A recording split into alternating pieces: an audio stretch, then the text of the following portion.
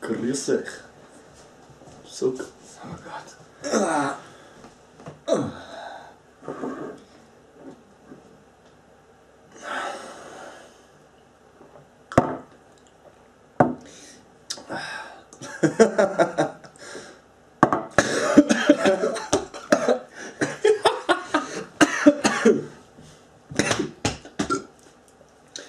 Entschuldigung. Hi Leute, wir nun.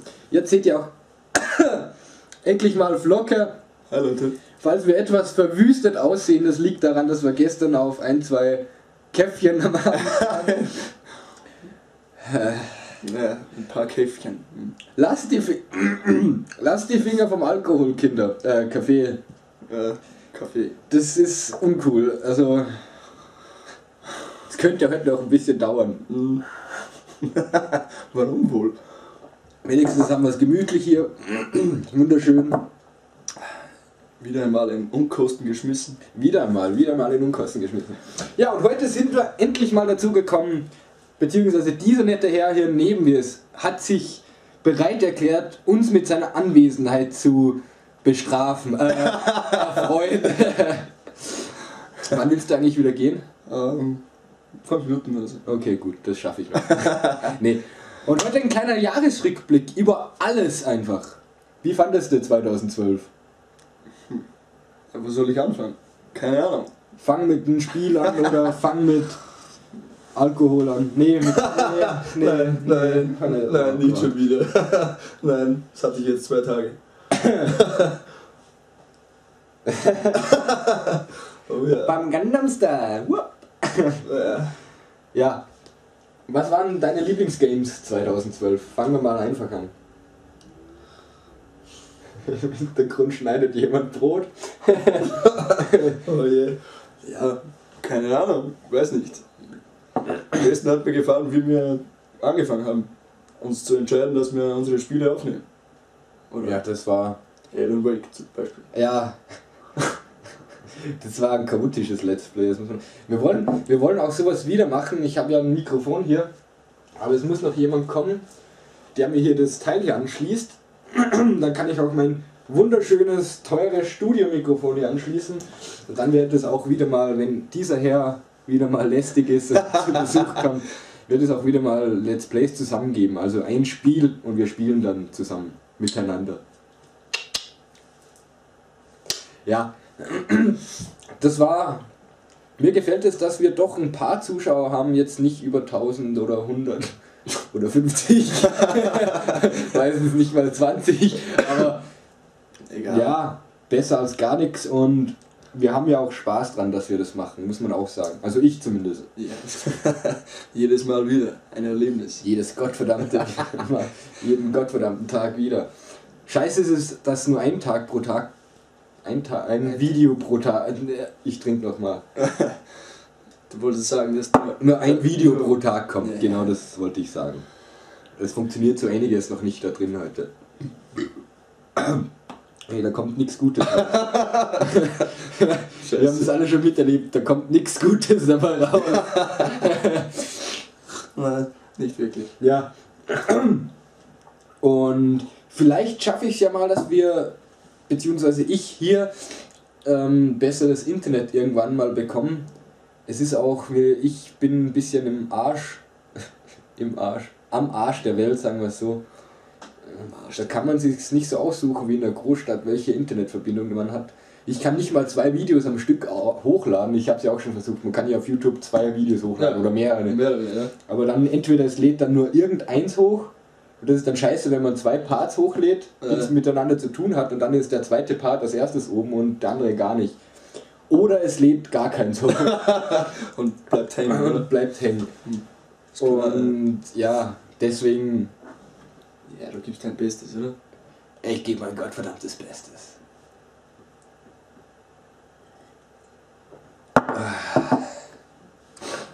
Ja, mein, mein ähm, Favorit von den Games war einfach Daisy. Kann man jetzt einfach mal sagen. Ja. Es ist einfach, auch wenn jetzt andere Spiele jetzt rausgekommen sind, Daisy war einfach kein, kein, äh, Spiel in dem Sinn, sondern es war eine Mod. Ne? Eindeutig, eindeutig das Beste eigentlich, was wir, was wir aufgenommen haben. Ja, auf jeden Fall. Und vor allem, es hat auch Spaß gemacht. Es hat seine Ecken und Kanten, es hat große Fehler. Egal. Aber es kommt ja auch nächstes Jahr, glaube ich, kommt schon die Standalone Edition, wo man, die man dann auch im Laden bekommt. Ja. Die bekommt jetzt auch eine neue Engine. Da sieht das Ganze dann auch wesentlich besser aus. Und keine, keine Bug- buggenden Zombies mehr. Das hoffe ich doch, dass das in der Standalone dann nicht mehr ist, dass die Zombies irgendwo durchglitschen und durch Fußböden durch nachschlagen. Fußball, ja, immer. Am Sonntag kannst du gar nicht genug nachschenken. Dieses Motto haben wir am Samstag auch gehabt, deswegen geht es uns heute so scheiße. Naja, Trinkt nie Tequila mit Bier und Captain. Trinkt gar nicht. ist besser. Er spart euch, Gar nicht. Er spart euch einen Haufen Kohle. Ja. Wir trinken ja auch nicht. Wir genießen. Wir sind Genießer. ja, genau. Ja, jetzt habt ihr gleich zum Jahresrückblick auch noch eine Lebensweisheit bekommen. Trinkt kein Alkohol, nehmt lieber Drogen. oh Gott. Oh Gott, du schweifst ab. Ich Ja. schweife ab. Ja, Daisy war auf jeden Fall eins meiner Highlights. Obwohl wir zusammen eigentlich nie ein Fahrzeug gefunden haben. Wir haben wirklich zusammen nie ein Fahrzeug. Das muss man auch mal schaffen, muss man echt mal sagen. Wir haben das Spiel nicht nur einmal gespielt, sondern Nee, wir haben es ziemlich oft gespielt, auch privat ohne Aufnahmen, aber wir haben nie zusammen, also er hat ein Fahrrad gefunden, ich habe mal ein Schlauchboot gefunden, aber wir haben nie richtig ein Auto oder so irgendwas oder einen Hubschrauber gefunden.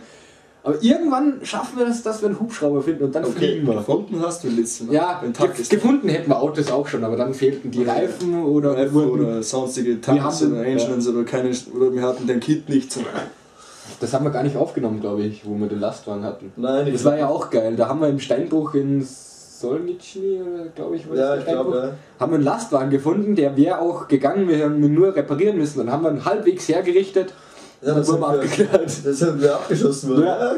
Er war aber fast fertig mit der Reparatur und dann musste uns jemand reparieren. Die verdammten Gut. Banditen. Dann der Warsea. Dir gefällt, gefällt ja Warsea besser als mir.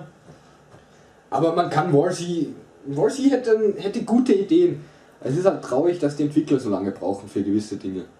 Das nervt mich einfach ein bisschen. Ja, es, es nervt gewaltig. Zum Beispiel, jetzt, so wie jetzt, ist die Karte ja, vollständig. Vollständig, vollständig ja. Ja. Ich weiß nicht, wie, wie gesagt, ich bin das Wochenende hier und ich habe keine, keine Ahnung, ob's, ob's jetzt schon, ob's, ob es jetzt Autos gibt oder irgendwie, aber die, die Stadt ist wirklich, es ist wirklich groß geworden, das Ganze. Ja. Und du brauchst einfach ewig von, den, von, von anderen Städte zu den anderen Wenn Städten. man rennt, ist klar. Ja. Ja, und meistens hat man zu. Ich weiß nicht, ja. Gefallen tut es mir schon, dass jetzt 70 Leute auf einem Server Platz haben. Aber das ist ein reinstes Wie ist wieder so wie, wie, dieses, wie das Chaos, wo die 40 Leute drauf ja, Chaos. Chaos pur. Du kommst um die Ecke, siehst vom Fenster raus und siehst einfach, wie einer über den Haufen geschossen wird. Obwohl, obwohl er erstens einmal nicht einmal geschossen hat und sofort geschrieben hat, friendly, aber das bringt in der Warsea eigentlich gar nichts. Er hat einen größeren Rucksack, er hat eine Waffe in der Hand Ja. und es waren zwei Typen. Du musst aber auch dazu sagen, in The Warsea, in Daisy auch, aber nicht so extrem kommt mir vor wie in The Warsea, wird man auch zum Bandit getrieben. Wir haben ja auch schon Leute erschossen, die vielleicht auch nichts hatten. Deine hat auch einen Hammer, den du dann über den Haufen geknallt hast. Aber es ist einfach scheiße. Wir- machen das ja nicht absichtlich, das haben wir in Daisy auch nie gemacht. Aber wenn man dann einfach zum 50. Mal selbst schon erschossen wurde, obwohl man nichts hatte, wirklich nicht mal einen großen Rucksack oder sonst irgendwas, mit einer Taschenlampe. Ja. Und dann wird man halt dazu getrieben, dass man entweder ein Bandit wird oder damit, dass man andauernd über den Haufen geknallt wird. Das ist traurig ein bisschen. Das liegt größtenteils, da kann man das Spiel jetzt irgendwie keine Vorwürfe machen. Es liegt an den Menschen. Ich weiß nicht, sind sie unterfordert oder so irgendwas? Ich, ja, du musst jetzt, also ich sehe das, weil ich jetzt öfters Warsea gespielt habe, ich sehe das auch schon schon langsam so. Also wenn du jemanden triffst, brauchst du nicht mehr überlegen, sondern machst es einfach. machst es einfach. Natürlich habe ich auch schon mal probiert, so wie beim letzten Mal habe ich wieder gezockt, habe ich probiert äh, mit einem zu kommunizieren und ja, es ist, es ist einmal wieder mal gut gegangen. Ja? Und während dem Schreiben auf einmal tuk tuk tuk bin ich niedergekloppt worden. Ich Von hinten, oder? Nein, von vorne. Der- Es war in der Nacht. War aber nicht der, mit dem du geschrieben Nein. hast. Okay. Der nicht. Ja, seither sind wir eh Freunde und letztes Mal haben wir. Deutsch auch, oder? Nein, ein Franzose, glaube ich. Ein Franzose? Ja. Oh, cool. Letztes Mal sogar mit Headset. War eine ja, Wie hat die ja, mit Headset. Auf Englisch aber. unser Englisch, also mein Englisch ist ab und zu eine Katastrophe. Ich weiß so viele Wörter. Wie, wie, wie sagst du zu einem, der da hinter der Ecke ist er gerade verschwunden, weil wenn es wirklich so ist, weißt du? Ja, der Corner. Ja, scheiße. oh ja. Scheiße. Na, nee, es ist, es Es ist ist- einfach so. Ich meine, wir können schon Englisch auch, aber in dem Moment fällt dir, so geht es mir zumindest, fällt dir halt viel nicht ein in der Situation, wenn du beschossen wirst, dann, dann wirst du getroffen, dann laufen 50 Leute vorbei und dann schnell sagen, ah, da ist einer in, Maulwurf, in die Maulwurfhöhle verschwunden und hat sich mit drei Kilo Schlamm getarnt, keine Ahnung. Da fällt mir dann oft auch nicht auf die Schnelle. Wenn man jetzt, zum Beispiel, wenn du jetzt Amerikaner wärst und neben mir sitzen würdest, so gemütliche Unterhaltungen, die gehen ja. Aber wenn Bei- Stresssituationen. bei Stresssituationen ist das immer ein kleines Problem, aber das verstehe ich. Aber das war ein, ein, ich weiß nicht mehr, in was für eine Stadt wir gewesen sind. Und ich denke mir so, ich stehe jetzt, äh, sehe ich immer mit der Vogelperspektive, stelle ich mich ganz zur Wand zu. Und dann siehst du über die Wand drüber. Ja?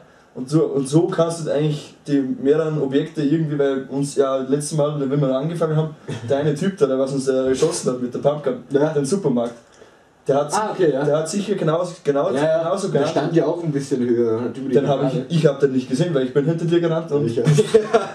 Das ist das, Letzt- das letzt- genialste Video, tut mir leid jetzt. Aber die letzten beiden Videos waren einfach, also von Dummheit kaum zu übertreffen. Also wenn ich das im YouTube gesehen hätte, hätte ich ja als Kommentar geschrieben, du, ihr zwei seid die größten Vollpfosten. das wundert mich, dass da noch kein so ein Hater-Kommentar kam. Ja, das, weil wir eben, ja, der Wurst. Ja, aber zweimal vom gleichen Typen beschossen werden, das ist auch eine Herausforderung. Ja, für, für uns anscheinend nicht. Achievement Unlocked, Dummheit. ja, 20 Gamescore. jawohl. Entschuldigung, was solltest du sagen? Jetzt weiß ich Also, genau. Letztes Mal bin ich äh, in eine Falle getappt, ich Trottel. Da haben, sie- haben äh, drei Leute haben sich in ein, wo du Richtung Boulder City aufgehst, Ja. die kleine Stadt, wo, Ja. du, wo du bei den letzten Videos auch warst, Mhm. in den, in der Post Office, da sind sie, äh, ist äh, mitten, mitten da eine Rüstung gestanden. Oh ja. Ja, Rüstung. Hm. Siehst du, laufst du gleich Ja, du gar nicht. Ja. denkst du nicht nach? Ich habe vorhin schon zwei Leute auf der Straße gesehen ja. und die liefen da rein und ich habe fünf oder zehn Minuten gewartet und sie konnten nicht mehr raus. Ne? ja. Ja, der hat sich, irgendwas hat es da. haben sie sich ausgelockt oder keine Ahnung. Ne? Jetzt sehe ich da runter, sehe ich die Rüstung da. Bin ich schon beim Fenster, nicht bei der Türe, bin ich beim Fenster reingesprungen, wollte mir gerade diese Rüstung schnappen, auf einmal stehen drei Leute auf und. Genauso wie das eine Video mit den sechs Leuten. Ja, Also genau. mal sehen, vielleicht, du weißt es sicher noch, wie das heißt. Wir werden es auf jeden Fall irgendwie finden. Ja, wir finden das sicher irgendwie. das, Das das, verlinken wir im, im, in der Beschreibung. Das ist echt genial. Sechs Leute schießen auf zwei Leute gleichzeitig. Da sind sie bei dem Tunnel da. Ja, ein paar Tunnel. Vorher, du siehst, auf einmal sagt einer, hey, over there, two guys, two guys. Ja. Und auf einmal hast du gesehen, du alle sechs Leute nieder. Ja. Legt euch den Rucksack ab, vielleicht sehen sie sie. Haben die uns noch nicht gesehen? Das gibt es doch nicht. Und auf einmal, okay, jetzt, jetzt wartet noch, lasst sie noch ein bisschen kommen und du siehst die zwei Leute, wie sie so da so jetzt schauen, wo es irgendwas zu ab zum Greifen gibt. Und auf einmal 3, 2, 1, stehen sechs Leute auf mit Pistolen, AKs und mit, da wird auf die zwei Leute, die waren äh, so tot. Ja, töte als tot. Aber das Video, das ist echt der Wahnsinn. Also, du weißt, das voll geil. Generell sehr witzige Videos, auch von Daisy. Ich finde ja das Musikvideo auch so cool. Call Me Maybe. Ach so, ja, Die Verarsche. die Verarsche, ja, Das ist, ist auch, das höre ich lieber als das Original. Und ja, so ging es mir, aber wie du zuerst gesagt hast, wegen der Falle. So ging es ja, mir auch ja. in Daisy mal. Da bin ich am Strand respawned, wie gesagt, ganz normal, und dann lag neben mir gleich eine M16 mit, mit, mit ähm, was war denn das für ein Visier? Ich glaube, nicht Cobra war es nicht. die mit dem Laser. Äh, ja, mit, ich glaube, ja, Nee. ist egal. Mir halt eine ziemlich geile, extrem geile Waffe. 50 Munitionspackage dabei. Ich denke mir, komisch, nehme ich mir. Sammle die Waffe auf, sammle die Munition auf, freue mich noch so, schaue sie durch die Gegend und auf einmal pack und ich war im Arsch. Ja. Solche Momente. Aber in Daisy kommt mir vor, da- du hattest viel mehr Ausweichmöglichkeiten. Wenn du da zum Beispiel ähm, Du meinst also, wenn du so quasi in eine Stadt wolltest, du. Oder. Du, ja, so, aber ich meine generell jetzt, wenn du jetzt von einer Stadt zu Stadt wolltest, da gab es irgendwie viel mehr Wälder.